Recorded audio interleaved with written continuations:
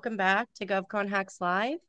I'm Ashley Duwel with Duwel Dev LLC, and I'm joined by Natasha Velez with MVS Strategic Solutions. Go ahead, Sara. I'm just I'm Sara Cinotti and I'm a proposal manager and I'm here to help you with the actual getting your template ready to start writing. So I think a lot of times people start writing and then they're like, "Oh, am I answering what they asked me?" Mm-hmm.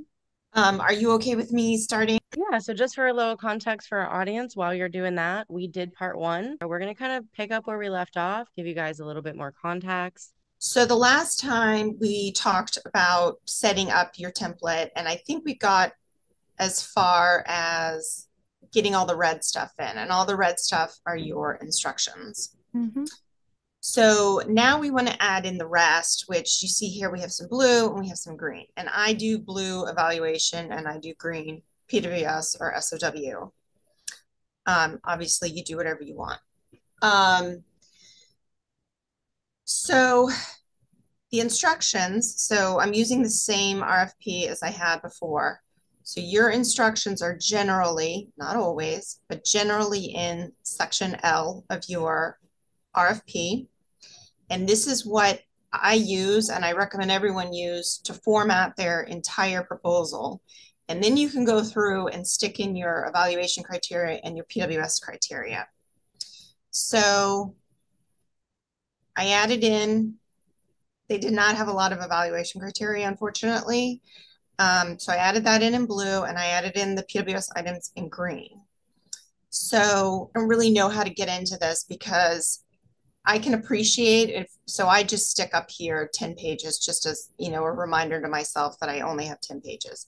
I can appreciate if you're saying to me, now wait a second, you're saying that I need to speak to all of my capabilities and I have to speak to all of these PWS items um, and you want me to do all of that in 10 pages. Maybe 10 pages is plenty of space. Maybe that's, you know, only the tip of the iceberg. I don't know.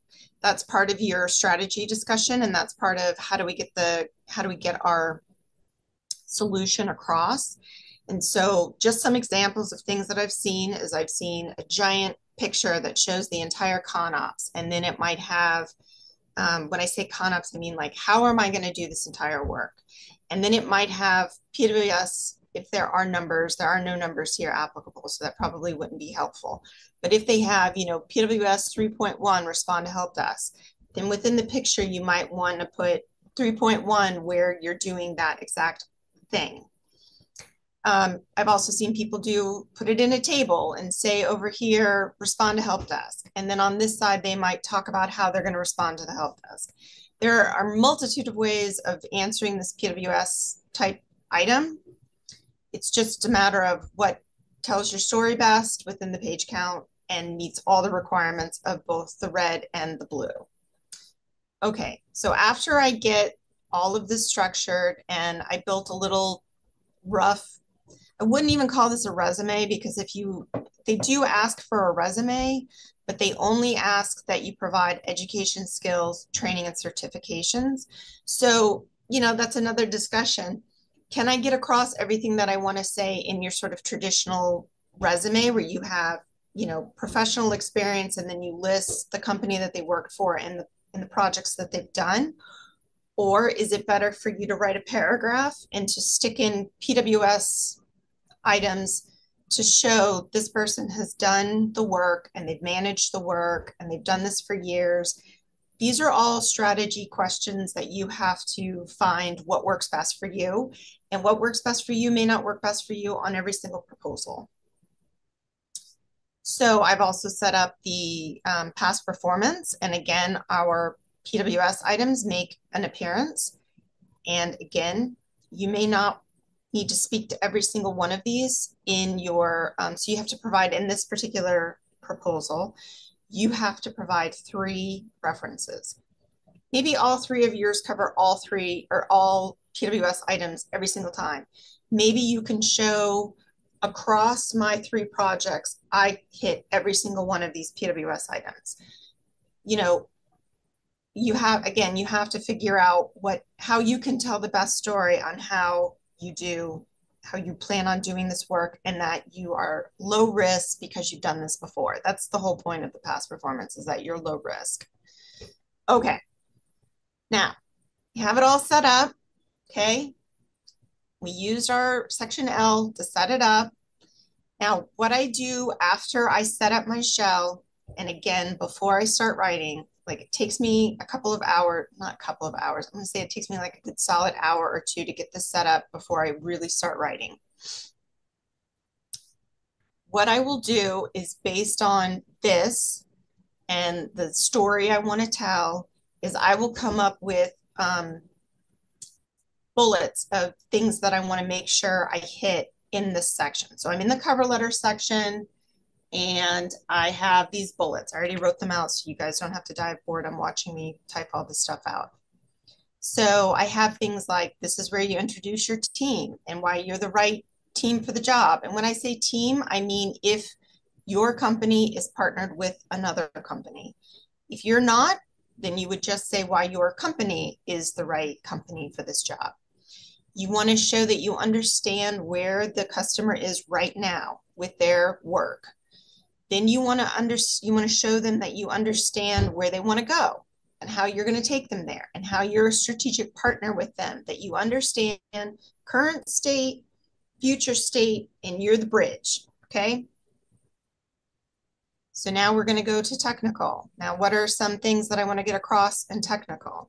Yes i want to speak to all the pws items. Of course i do. But there are other things that i want to make sure i use to structure my understanding of the PWS. Now, I'm going to stick a lot of stuff in here. Don't panic. These are just suggestions for you to use for any technical section. So not every technical section is going to get all of this, but it shows that you have the understanding of the work, the existing conditions. This is sort of like the cover letter is sort of a brief overview. This is really getting into the details of I understand where this PWS item is right now. I understand where you want to go. I understand, you know, this is my suggestion for the bridge from here to there. How you're going to manage it, how you're going to collaborate with the government or other stakeholders, um, how you're going to continue to improve it as, you know, you're now the owner of this hot mess.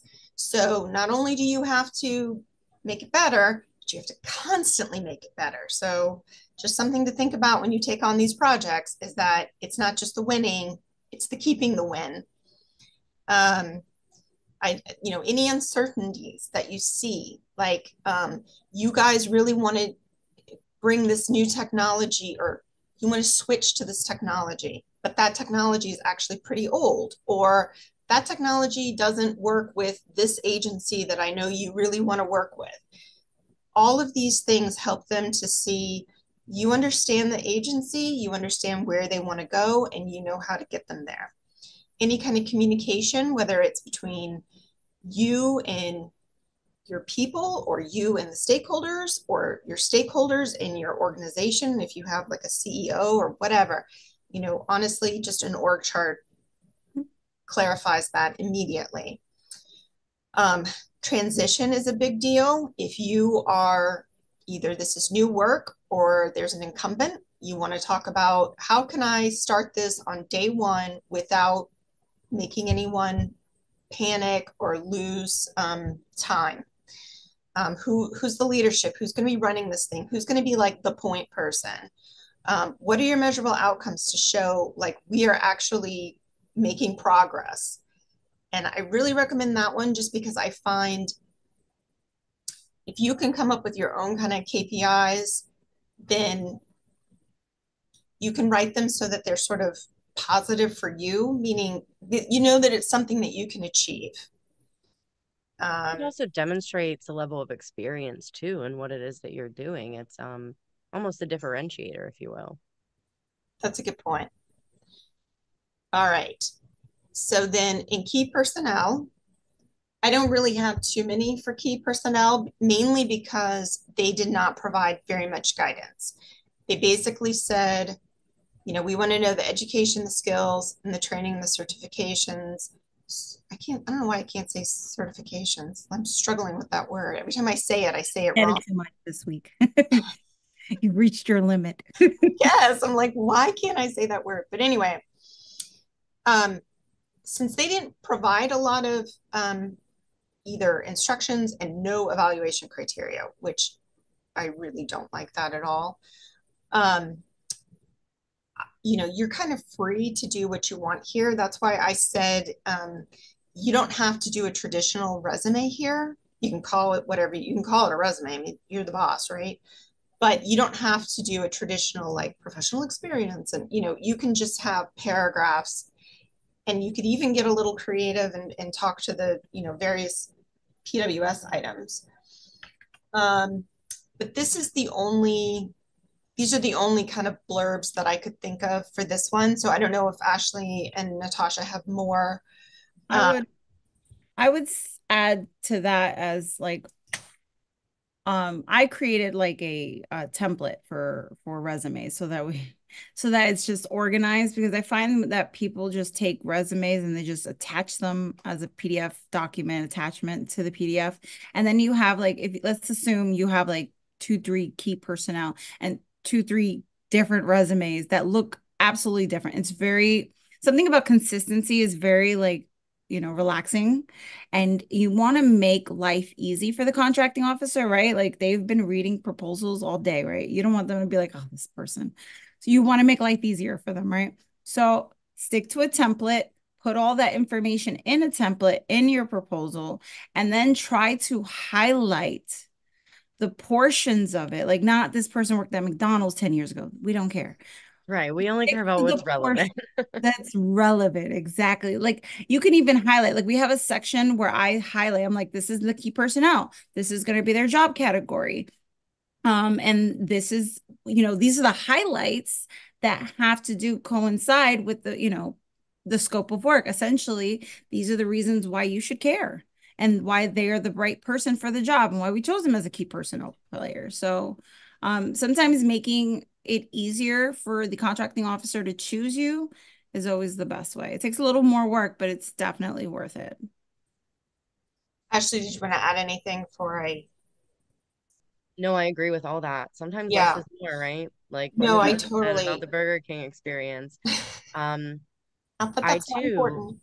Have had the same issue where it, you know, our team members will send their resumes. Some of them do them in Word, some of them send a mm-hmm. PDF. So, kind of transferring that into a consistent format that's easy to read, but that doesn't take up too many pages of your your proposal as yeah, well. Yeah, because if you have a page limit, that that'll kill it right yeah, there. which you yeah. do have a page limit. It's quite long, three pages, but you do have a page limit.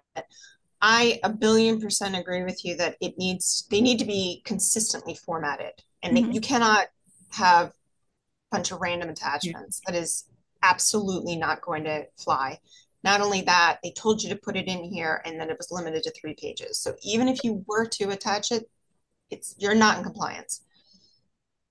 Yep. But um, I guess what I'm thinking about for here, when I say meets and exceeds, which this is not helpful here, but there are so many proposals where they will give you either it's a table and they'll say you know this person needs to have this kind of a degree or this kind of a certificate they need to have three years of you know management experience and if I have that, I will put that on one side of a table. And then on the other side of the table, I'll say, you know, this person has that certificate that you asked for, plus they have these other eight certificates. This person has the three years that you asked for, plus they have another five years on top of that. So it shows that you exceed the expectations. Um, I also like to talk about if someone is already badged at, you know, whatever whatever this work is, if they already have whatever government badge, because that takes time to get, you know, you can't really start on day one because you have to get your badge and you have to go through the paperwork, yada, yada, yada. If you can say this person is badged and ready to hit, you know, the street day one, that really helps a lot. And then Natasha made yeah. me think of roles and responsibilities, you know, helping to understand what will this person be doing on this contract for you I think that that really helps. Yeah, um, you could utilize that even in your transition plan because mm-hmm. right there you just mentioned a key differentiator. Yeah. I'm ready to rock. Yep. You don't have to wait for me to hire and badge and get everyone ready. We're on start phase one. We're ready to go. So yeah. that's a major um it's a major discriminator for any incumbent is that no matter how much they might be hated, the thought of I got to rebadge all these people. I got to bring all their clearances over. I got to, you know, get them all spun up on our computer system and you know it's like is is the squeeze yeah. worth the juice yeah, so you are an incumbent, the evil you know worse than the evil you don't yeah so you right. got to make it super easy for them to for mm-hmm. them to say you know what i'll take that chance um and yeah. transition plans are super super key and I think that kind of leads into like, you know, the importance of your staffing plan, your transition plan, your management approach, your communication plan. Don't forget that, you know, like, and people like timelines. Don't be afraid to put schedules in there and give them an idea. The more prepared you are, um, the more confident they feel in your, you know, abilities to, to take on the work. So, yeah, I'm going to add, um, because I think I have transition up here, but I'm going to add staffing and I'm going to add timelines. That, that one for sure, mm-hmm. you have to have, if they ask you about transition, you have to provide them with some kind of a timeline. Yep. because they need to know, like a lot of times they'll say to you, you have 30 days to ramp up. Tell me how you're going to ramp up in 30 days. And you have to talk through it. And we can get into that. I mean, there are some yeah, it has to be real though. It has to be yeah. like a, a, it has to be a realistic uh, approach. It's for sure, but I, I'm saying I'm saying like there are things you can say, like for example, you want to say that you're going to shadow people that are there now, and then you want to cross. There's some there's some term for it, but it's like backwards shadowing. What's that? Cross trained. Could be cross training, but it's where like now you're doing the work and and they're shadowing you to make uh-huh. sure that you're doing it correctly and you know uh, something that we do is we'll talk about um, having like an executive committee for the transition and mm-hmm. that's where like the presidents of the companies will say that they will be at every daily tag up that way if there's any problems like this person's not getting this thing that they need and this person's not getting this thing that they need the president will say, I'll have that fixed by, you know, the end of the day. It shows that you have like that buy-in from your, um, from the top.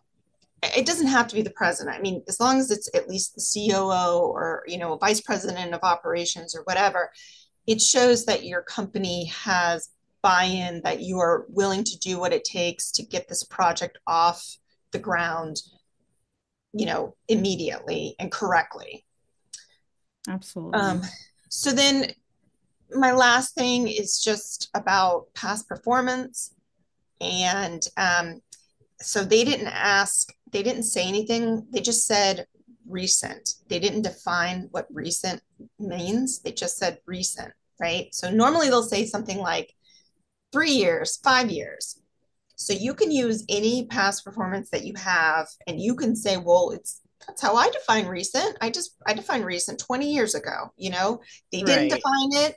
Don't ask a question about it. Don't let them define it, right? When DOD will be like, we want at least three years past performance with at least two different federal mm-hmm. agencies matching the scope of work within the last five years. With the TCV, give that to you guys. Don't you know, ask for it. Don't ask for relevance and size and yeah, right. Contract yeah. value, period of performance. Oasis positive uh, had, CPARS reviews. Yeah, you yeah. don't need you don't need to create a problem where there right. not one, right? Right. Don't ask a question about that. But I remember Oasis had both a, a total contract value requirement and they had an average annual value contract requirement of every single past performance. It you should have seen That's the discriminator. That somebody got in there and influenced that in the acquisition. That just sounds ridiculous. It was ridiculous. I mean, the math I had to do to like figure out which projects fell into, you know, before like that was the first thing we had to do was figure out what projects do we even have that hit those requirements.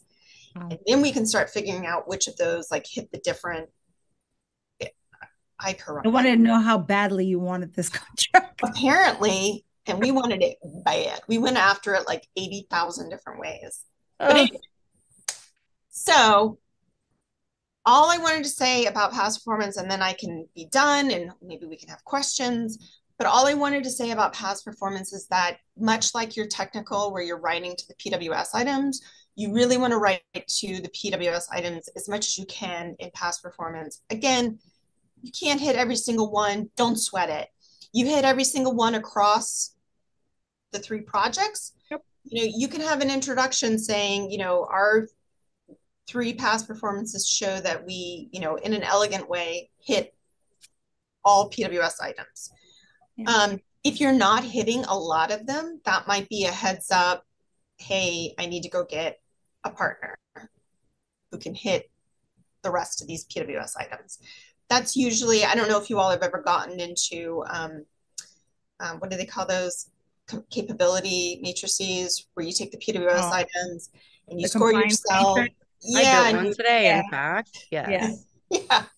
yeah. Um, compliance matrix. I think I have a generic one that we could use, but essentially a, a, compliance matrix will help you kind of like put in all the requirements and you can give yourself a score. Mm-hmm. and it will give you what we call a gap analysis. Is there a gap in the amount of work that i can perform versus can't? And if i can't perform certain things or i'm not strong or i don't have past performance in certain things where can i leverage and get that you know performance? Because you can submit it as is but there's a good chance that if somebody has 90% of the you know pws items that they have past performance and they're probably going to win it before you do. Um so then that's when you decide to team depending on what that looks like. Totally and also it really helps to do that before the rfp yeah. drops. And you may be thinking well how am i supposed to do that if i don't have the rfp um, if it's a recompete use the old draft or the old rfp sometimes for really big um, contracts, they'll put out a draft and and it'll be at least the work will be similar. Maybe the way they have the L and M will change, but the section C, which speaks to PWS or SOW items, that'll be the same. So use that to build yourself a capability matrix and score yourself and figure out like, okay, these are my holes. And then someone like Ashley would be able to help you figure out like where can I find other companies to fill those, fill my hole. Got to fill my hole. Should make sure people are paying attention. I'm never ending. So another thing I like to do is if there's some specific instructions, like they said here, when you submit, include this in the subject line of your email I like to put a comment in here so that as I'm cleaning out my comments and that sort of thing, like at the very end when I'm getting ready to submit or to clean out my instructions and that sort of thing, I actually will set up the email that I'm going to submit just in my drafts.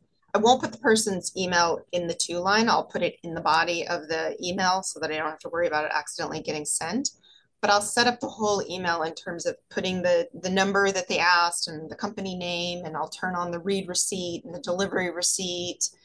Um, but anyway, I, I just like to make myself the, these notes.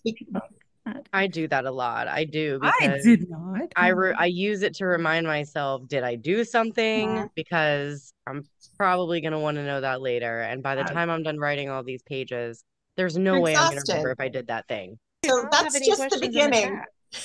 I love it. Yeah, that's that's that's enough to get you all started, right? Yeah. Um there's a then, lot Then you start writing. Yeah, you start writing. That's when you really start putting the meat and potatoes, all the guts. Yeah. And fill in all the holes. Yeah. Yeah. I cannot believe none of you had questions today. I hope you enjoyed the second half um, to see sort of what it looks like now that we're getting closer to it being an actual proposal.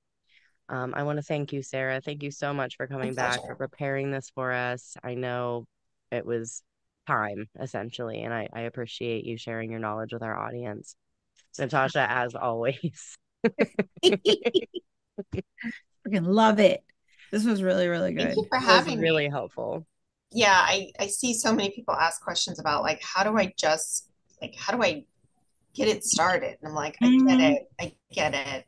Well, because like you Where know, we've seen it a million times, so we're used to it. Yeah. But like, if I was just coming into the scene and it was like, you have to write a proposal. Well, how does that work? Like, what does that look like? What is the right. format? Like, what do I do? Where's I always here? was a template. Yeah. Um, I don't think people really care like of a template that's specific to this, you know, particular opportunity, but just give me some sort of a segue here because, you know, right. just to create it off of just GP um, making it up for yeah. someone who's never done it, it's that's overwhelming. Totally. And and I I don't really even know like how do people learn this other than just other people teaching them. but I really think that as long as people understand that you use the instructions in section L to, to set it up, then you should, you know, you're already like 60% of the way there, maybe even more than that.